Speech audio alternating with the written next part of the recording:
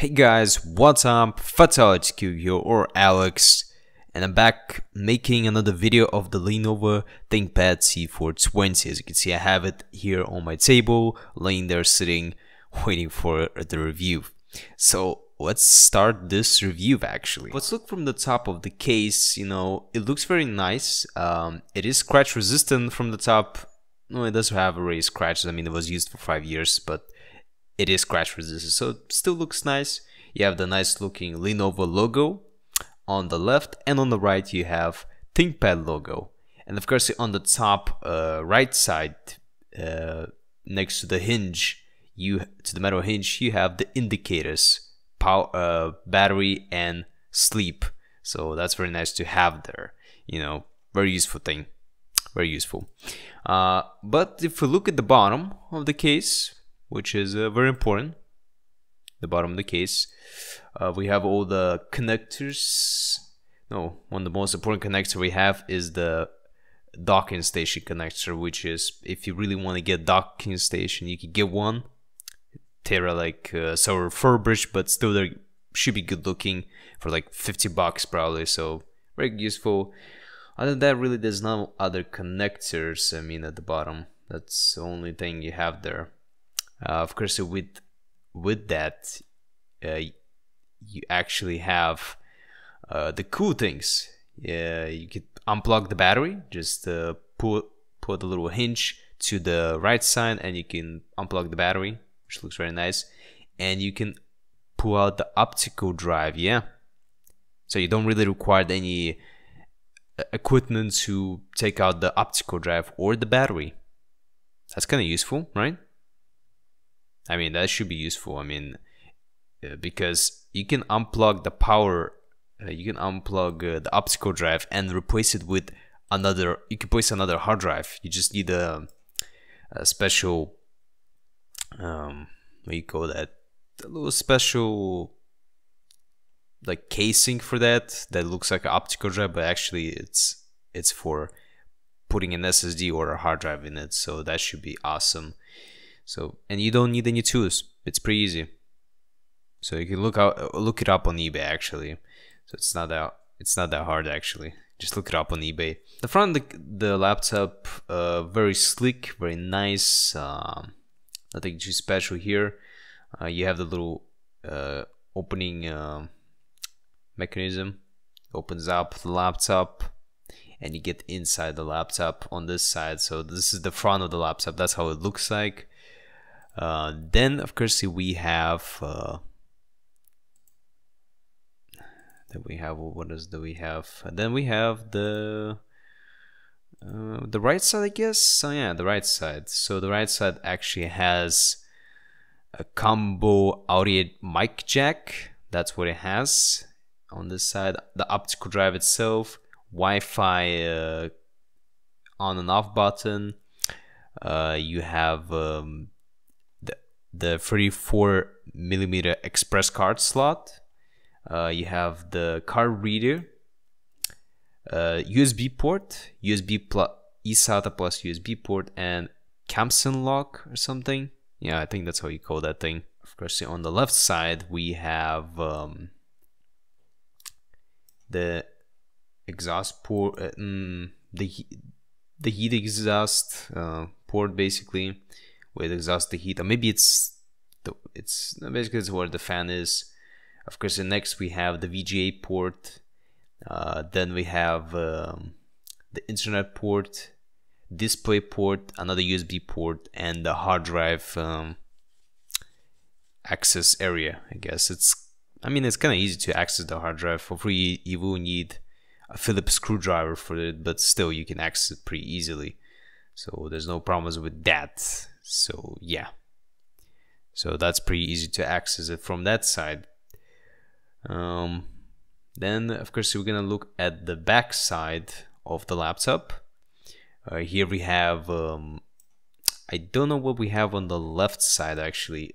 There's like this little thingy that I like there's something in it. I'm not sure what's inside there but like when I can hit it and I hear sound. I don't know what that is. Next thing is the power USB, which is uh, if you want to charge your phone, your uh, something basically whatever you want to charge you can plug in plug it in there like your iphone or something and it will charge it quicker. No that's what it's meant for. Because you have the battery again and you have the and you have the power connector of course see, for your power brick. And another exhaust port maybe intake port intake uh, intake or exhaust i don't know which one of those is. There like i tried to google for this but i did not find an answer. Is that exhaust or intake? Port if you want to call it port so yeah. I don't know what that is even. Personally i don't know. Like i actually don't know. Um of course with this laptop um we have a lot of other things to kind of go for um uh, of course I'll pull up all the specs right now on the screen uh, because no, my the one I have right now I upgraded it so it doesn't have the same um, the same specs I guess you pretty much can say. So the processor I have right now is Intel Core i7 2670QM 4 cores uh, 8 threads uh, what else is there? Of course, we have I have eight gigs of RAM. Uh, upgraded from four gigs of RAM. I upgraded to eight gigs of RAM because that's how much I need. Um, because four gigabytes of RAM is not enough actually, so I decided to upgrade the laptop a little bit. You know, give it a little bit more. And of course, I have a 250 gigabyte SSD from Crucial or Crucial. Yeah, Crucial 250 gigabyte SSD from Crucial. Um, enough space. Uh, of course, I would probably the next upgrade I would do is probably upgrade the SSD, give it a little bit more um, storage because that's how much I need. Uh, 250 gigabytes is not enough actually. I'll just say that it, it is actually not enough. So that's definitely something I'm gonna upgrade pretty soon. So yeah, of course, let's uh, look at some things like, for example, um, some of the things I promised to look into is um, uh, AIDA 64. So of course we want we want to look into that.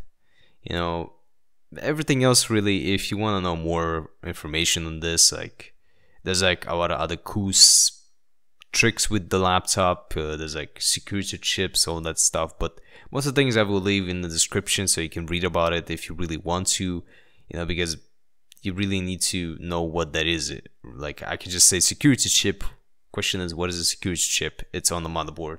So, see, that's the thing. You need, to read about that or Google about that. But I'll leave description. Eh, I'll leave a link in the description to the full specifications of the laptop. Obviously, we're gonna run AIDA 64. Um, I want to see the temperatures of AIDA 64. Of course, see, uh, the temperatures as idle are pretty low uh, as you can see it's like uh, 40 degrees. And when we turn the AIDA 64 on so it can run the process at 100% we have the temperatures over 78 79 so it, the maximum temperatures were uh, what was it like 95 degrees 97 degrees 98 yeah the maximum reached 98 degrees actually. That was the maximum it reached. So it didn't reach 100 uh, degrees actually through the whole test. I even uh, ran a little bit more. Of course in the video I will not be showing that because it will take a lot of time. It could take up to like hours of just running that test. But pretty much I ran after that. Pretty much it was like it didn't reach 98 degrees actually reached 95 degrees. That was the maximum it reached after I decided to test it again. So yeah nothing special over there. So pretty good temperatures you know? 100% usage of the processor and 98 degrees 95 degrees is pretty pretty normal. Uh, of course I decided to run a couple of games. Um, one of the games I decided to run was uh, League of Legends and I was getting pretty good performance. I was getting around uh, the low low drops were like um, let me just remember right now. What was the low drops for the it was like uh, 50 fps was the lowest drop i actually had. And it could sometimes it reached around 90 fps um, the temperatures were pretty good running do, uh, running the game. The temperatures were pretty good uh, it was uh, it was reaching around 80 degrees max 80 degrees. Temperature went so that was pretty cool. Uh, of course the settings for the game were pretty no nothing special really. They were the screen resolution was 13 1366 by 768 not too big. Um, I was running it full screen. Uh, the graphic settings were medium to high character quality was high effects quality effects quality was high environment quality was high and shadows were medium. Uh, everything else was advanced. I didn't do much. I basically I didn't do anything. I, it just automatically set up all the settings for me. Basically the the recommended I guess by the laptop or by the game. So it ran pretty good you know. 50 to 60 50 to 90 fps uh, so the minimum was 50 fps so that was pretty cool. No problems there. If you really want you know if you're getting this laptop you can run league of legends. No problems. You actually will run the game at a you know with good performance. I mean with good quality and everything. So no problems there. Uh, of course the next game i decided to kind of run was uh, csgo uh, because you know, that's something we need to test out you know maybe you are a fan of csgo uh, of course, it, with CSGO, uh, the lowest drops I had was around 40 FPS. I think that was the lowest drops. Um, yeah, 40 FPS, and the maximum was for some reason it reached like, like at some points you can actually see in the video. I re the FPS reached like 150, 150 FPS, which was kind of weird, but it never stays at 150 FPS. it just, it's like a little quick it quickly goes up and then goes back to normal. So the lowest were 40 FPS. So that's pretty good, guys. That's pretty good for CSGO. Um, the temperatures again were reaching around 80 degrees. So there's nothing bad about that. I mean, 80 degrees pretty, pretty, pretty okay. I'll, I'll, I'll say that, you know, nothing, nothing bad about that. Of course, the game is not running on high settings or anything. It's running, on, if I remember, somewhere on medium. Uh, medium and some stuff is running on low. So yeah, again, I did not touch anything. The I just turned on CS:GO. It did everything automatically for me because I guess the uh, the game understands that the laptop is not powerful or the graphics card, the integrated graphics card is not powerful enough to run this game to you know like on max settings so that's why I did everything for me. So yeah. But yeah that's pretty much all I did with the laptop all the tests I did so there's nothing else I can show you. Um I ran 9064 to couple of games and that's pretty much all. But let's go. So that's pretty much done with the review part of the laptop. But let's get into the whole uh, which which version should you purchase of this laptop? And and to to answer one of the questions should you upgrade the cpu yes you should upgrade it because the temperatures difference is not high you know? With the i5 i actually tried it out with iris. I ran the i5 with AIDA 64 it, it got this it actually reached 100 degrees at 100 percent. Uh, it actually throttled like crazy that uh, I even stopped the test because I was not really happy with it. Uh, I don't know why I was reaching. No, it was probably because I didn't replace the thermal paste when I ran the, the test. And after that, I did replace the thermal paste, but I never ran the test again. So I don't know. I don't know if that will, if I ever test it again. But it did reach 100 degrees, so I don't know. But yeah. But if you ask me, upgrade the processor runs pretty good. You know, you can run games even better and some programs, rendering, editing videos works really well. I, I, I'm gonna edit this video on this laptop and render the video on this laptop. So and it works perfectly fine. So I'm pretty happy with this laptop and the upgrade.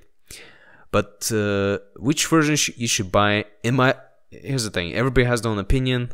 If you really need the graphics card, like the NVIDIA NVS 4200M with one gigabyte of uh, video memory VRAM, if you really need that graphics card on the laptop, go for that one. Purchase it if you really need it. But in my personal experience and my personal opinion, and personal experience from working in the computer service, I understood that to, ha to have a higher lifespan of your laptop, you better off going with the integrated graphics card. Always, that's the best option. It's it has a higher lifespan than the one with the graphics card because that graphics card, whatever you do, cooling, uh, time comes and the graphics card will die. The time comes and the video chip will die. The video chip will die at some point. And since this laptop is like five years old, I wouldn't be surprised if you purchase the laptop and like, you know, you're gonna purchase it off hands and it might actually die in like a month or three months, who knows, a year. So, yeah, video chips are always, always like a, one of those things that you're not sure about them. There's like, like a scary thing, you know, personally. You know, I've seen enough laptops to understand that, so I would recommend going with without the graphics card, without the video chip. So yeah, just go with the integrated video chip or integrated graphics card, and you're good to go. You can play some games, CS:GO, League of Legends. Uh, you can watch videos at 1080p 60 frames per second, which you cannot do with the i5. The i5 dual core cannot handle it too much. Some of the videos, like gaming videos, it cannot handle. Like normal videos, you can actually watch 60 FPS, 1080p 60 FPS, but videos that are like, for example, you're watching a video of like someone playing uh, CSGO and it's 1080p 60 FPS, it will not handle that video. It will be laggy. Trust me, I tried it. So yeah, so pretty much that will be my kind of like deep, kind of like ending to the video. You know, go with for the one without the graphics card. So yeah, that's my personal opinion and my personal experience from computers. So yeah. So thanks for watching guys. Don't forget don't forget to kinda to leave a comment on what you think uh, of this review. Uh, tell me your opinion. Which one would you choose? That's my, my that's my choice. Without the video chip is my choice the one basically which I have right now is the best choice. You you cannot go wrong with this one. So yeah, that's for watching, guys. You know, thanks for watching, and see you next one. I guess if there will be. I, I am. I did order a couple of things that I want to try for a video, so uh, hopefully I'll be making vi another video of that. But yeah, like I said, see you next one, and bye, guys.